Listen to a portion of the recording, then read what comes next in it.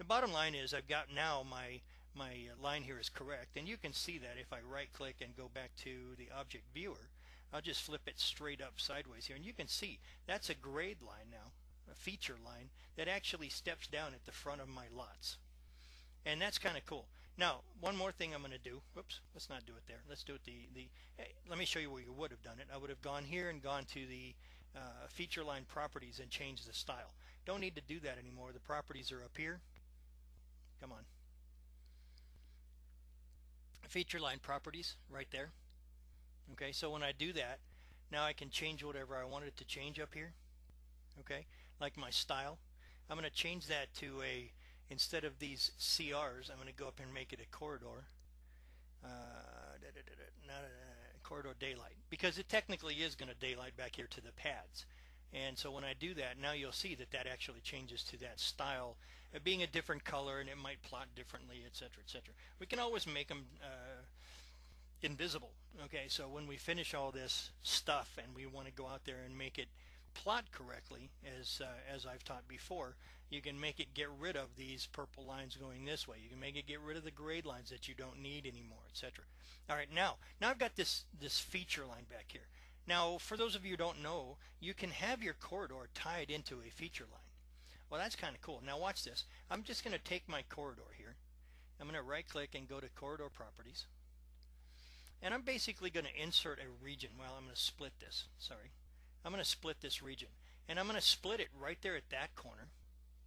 Okay, so at that station, whatever it is, it's going to put in a split region right there. And I'm going to put in another one down here and then I'm going to hit enter and you'll see now that it's got three regions. One two three. Okay? Now I'm going to hit OK for a moment because you're not going to see anything change but I want to show you what I've done to the uh, to the assemblies okay? The first assembly that I was using is this one right here. So it has the typical 2 to 1 to daylight over here and over here. And if you're not familiar with my naming convention 32 foot wide 6 inch curb and gutter 4 foot sidewalk 2 to 1 to daylight. Now I've made another one down here and this title down here is incorrect so I'm going to get rid of that. I'm going to I'm going to show you the real title here. I'm going to go to properties. And there's my real title so I'm going to do a control C on that one. Jump back into my drawing and do a control V. And that just basically puts my title back down there. There we go. So that's what this thing is called now. It's called 32 foot wide 6 inch curb and gutter 4 foot sidewalk dash pads. And that dash pads only means that I've got a new item right here, which happens to be a subassembly.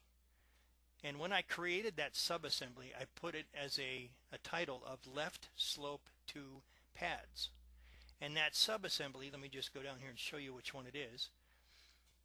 That subassembly is on the generic tab, and it's down here called link width and slope.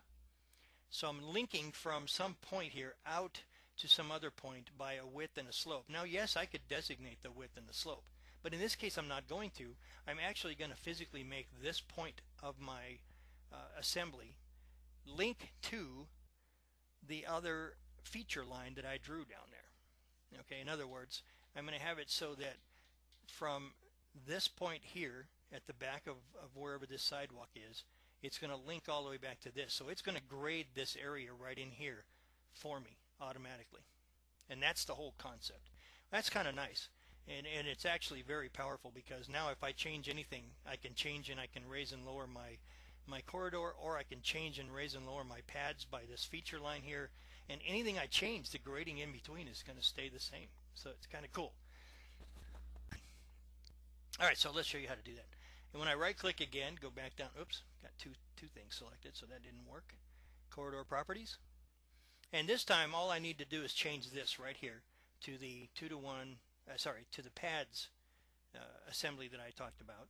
And then of course I have to go set my targets. Now the reason I called that thing left slope to pads is because you can see you can have lots of stuff down here and not a, not know exactly what they are because sometimes these things are rather uh, strange at the best. so uh, first thing I need to do is set that as, as existing ground. So I've got all my target surfaces set. But this one right here now needs to know what width or offset target it's going to go to. And so if clicking right there, you'll notice that normally it goes to an alignment. This is this is how you uh, let's say do a street widening. For those of you who've been through my advanced corridors class, you know this is how you do a street widening or a right turn lane or anything of that nature. Well, in 09 they've come up with this new ability now to link to a feature line, a survey figure, and polylines. So that's kind of cool.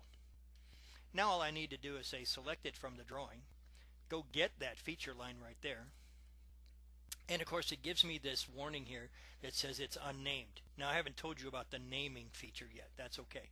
But I want to name the feature lines using the default. I don't want to discard it, okay? I want to use it and I can go back and rename it later.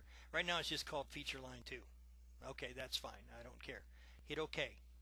So now this basically means that the width of this thing is going to stretch to meet feature line 2. Well, that's great. But now we have to also set this one down here, which is the slope or the elevational targets.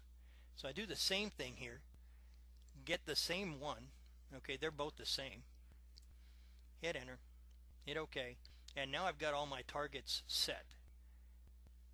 Okay, there it is. Um, this little this portion of this webinar that I'm doing today, that little five minutes that I did right there is probably going to be on a YouTube video very shortly on my YouTube channel. So anyway, I'm going to go ahead and hit OK here and you're going to see what happens. And there you go. I mean, it, it physically went all the way out. You can see the red lines, the magenta lines or whatever. Now the only thing I want to change, and I forgot about this one, uh, I want to go back now and, and, fix something just very quickly. I'm going to change the frequency at this particular region uh, down to about three feet. I'm doing that for a reason. You don't have to, and you can do it if you want. It's, it's up to you. Okay, so now it's much better. Be and I did that because it otherwise you wouldn't have seen the slope in here. Okay, there's a slope right in here that you wouldn't have been able to see otherwise. So now I'm going to pick my corridor. Well, first things first, I'm going to save my drawing.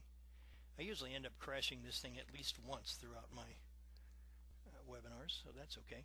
All right, so I'm going to click on that one. I'm going to right click and go to the object viewer just so you can see now what it's done. All right, there's my object viewer. And if I flip it around here, let's move it up a little bit on that side.